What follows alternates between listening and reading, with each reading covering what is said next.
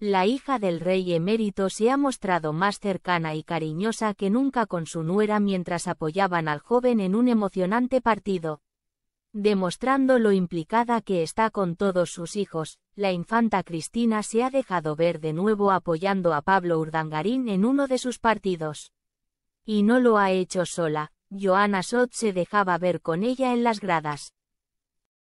Son muchas las ocasiones que hemos podido verlas juntas, pero lo cierto es que esta vez han derrochado una complicidad y confianza de la que no habíamos sido testigos. La hermana del rey Felipe VI llegaba al Palacio de los Deportes en Barcelona en un coche conducido por Joana.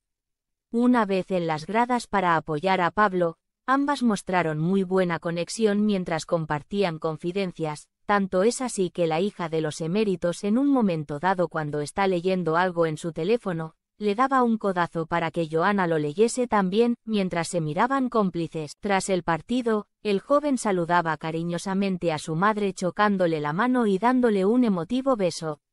La hija de la reina Sofía se dejaba ver de lo más efusiva con todo el equipo, a quien felicitaba chocándoles la mano.